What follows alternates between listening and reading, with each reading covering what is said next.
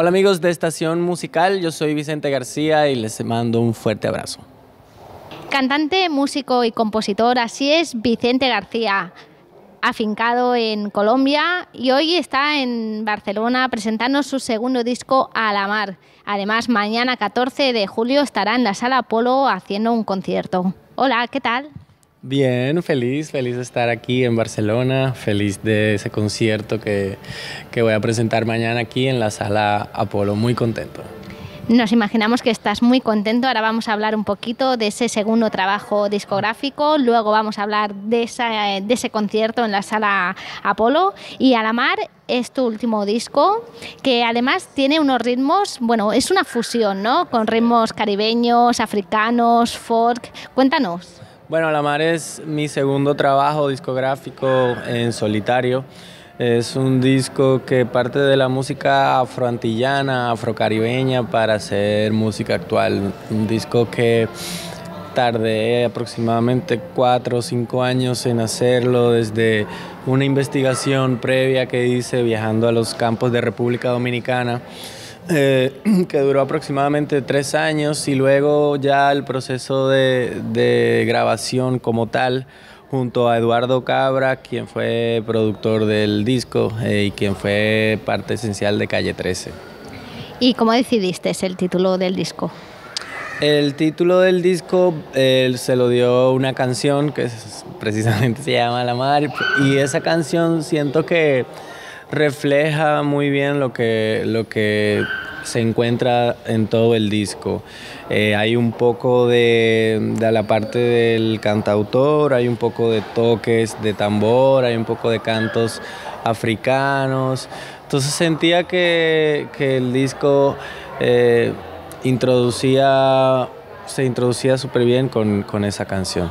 Además fue grabado entre Santa Domingo, también en Puerto Rico. Sí, empezamos toda la parte de la percusión y toda la parte de los cantos en República Dominicana.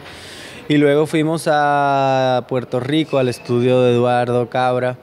Eh, y ahí ya terminamos todo lo, todo lo que faltaba, las voces, algunos, eh, algunas baterías que faltaron y fue todo el proceso entre Santo Domingo y Puerto Rico. Y la canción Te Soñé ya sobrepasa los 36 millones de visitas. ¿eh? ¿Cómo te sientes que haya dado un pelotazo así de grande? Pues me siento muy bien, eh, sobre todo porque fue un video que se hizo sin mucha preparación, sin mucha planificación ni estrategia. Eh, un video muy sencillo, grabado en mi casa en Santo Domingo, cuando vivía en Santo Domingo, eh, en el piano, básicamente defendiendo la canción a piano y voz.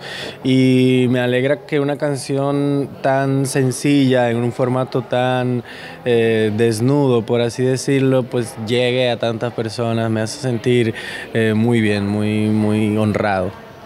Y todas las canciones que están en este disco guardan una relación con el mar, ¿no? Sí, em, a pesar de que lo empecé en República Dominicana con todo el, proceso de investigación, eh, en ese momento, en toda esa etapa, pasé por la transición de irme a vivir a Bogotá entonces el disco tiene mucho también de, la nostalgia, de no tener el mar cerca, de querer evocarlo a través de las canciones. Eh, y básicamente eso, es un disco que recuerda mucho el, el Caribe y el país de donde vengo que ha influenciado bastante, ¿no? Colombia, Bogotá en este caso, para influenciarte de su música, ¿no? Sí, sobre todo creo que en este, en este trabajo a la mar, Bogotá sirvió como de, de, de albergue para sentir que estaba lejos de casa, para sentir que necesitaba de alguna manera sentir el mar a través de lo que decía, a través de lo que escribía en las canciones. Luego a la, parte rítmica creo que hay una buena interacción eh, con Colombia en una canción que se llama Espuma y Arrecife, que es precisamente una colaboración con los Gaiteros de San Jacinto, que son un grupo folclórico del Caribe colombiano. Y tenemos que decir que en este disco hay ilustraciones en cada canción y son unas ilustraciones además que me han llamado mucho la atención, sobre todo de la canción Mal de Amores, si no me equivoco, que salen dos hombres con la cabeza eh, de caballo y una mujer en medio con la cabeza que es un pájaro. Cuéntanos. El trabajo de ilustraciones de Nadal Walcott es un artista dominicano eh, ya un señor de 60 años que pertenece a la cultura de los cocolos.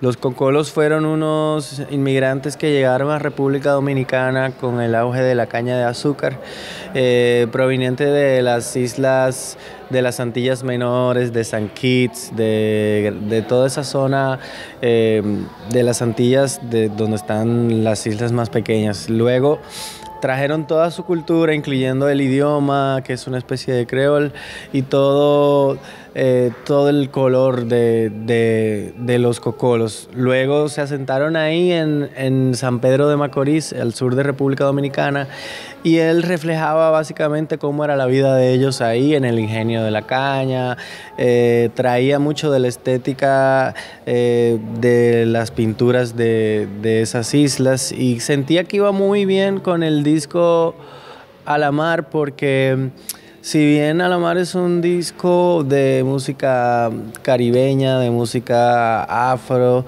no es todo el tiempo bailable, también tiene una parte más contemplativa, una parte más tranquila de cantautor. Y si te fijas en las ilustraciones pasa lo mismo, es una, son ilustraciones muy pintorescas, pero son a blanco y negro, entonces guardan como cierta... Em, tranquilidad, cierta sobriedad, entre comillas.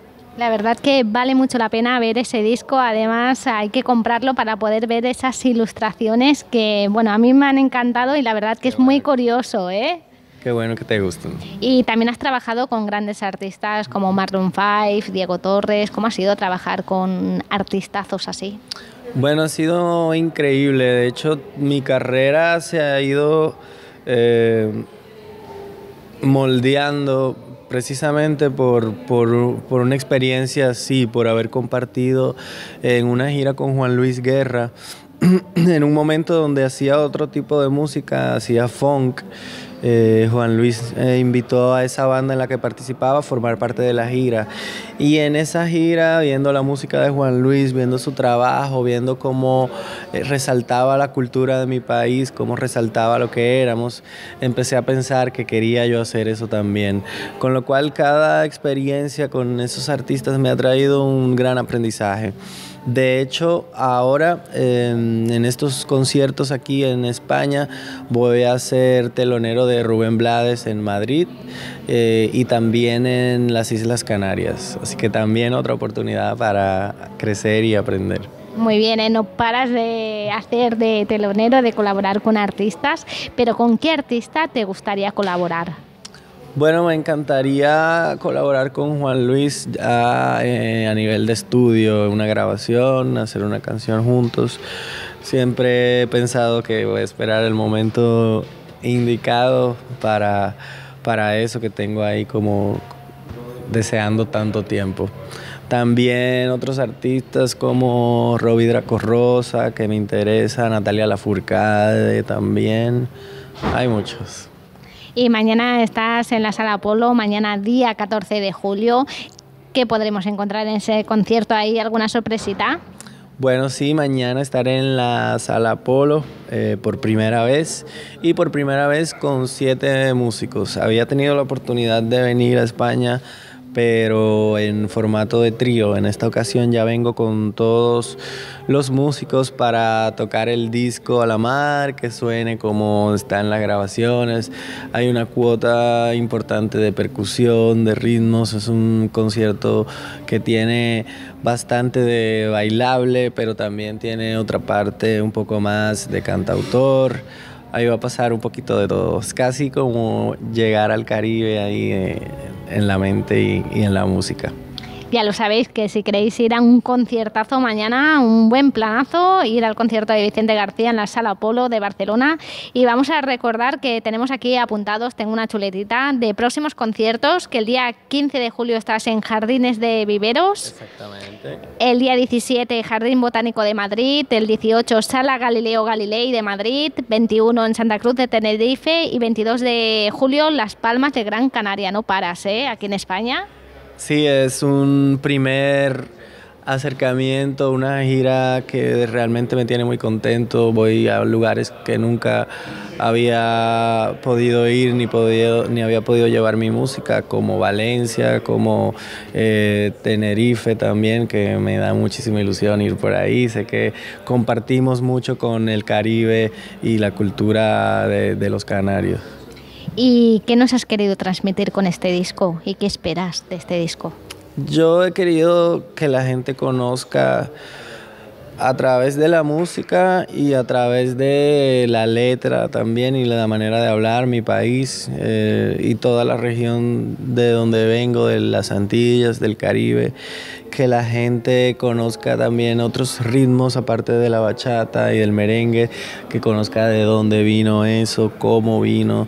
Eh, todo eso creo que lo que termina de completar la cosa es que está sobre, sobre mi identidad, o sea, no es una copia de, los toques del folclore para nada, es una síntesis de lo que yo entendí, de lo que yo aprendí y luego lo que pude eh, expresar a través de las canciones. Pues ahora vamos a hacerle un pequeño juego a Vicente, que vamos a conocerlo un poquito más personalmente. Te voy a hacer unas cuantas preguntas, a ver qué nos contestas.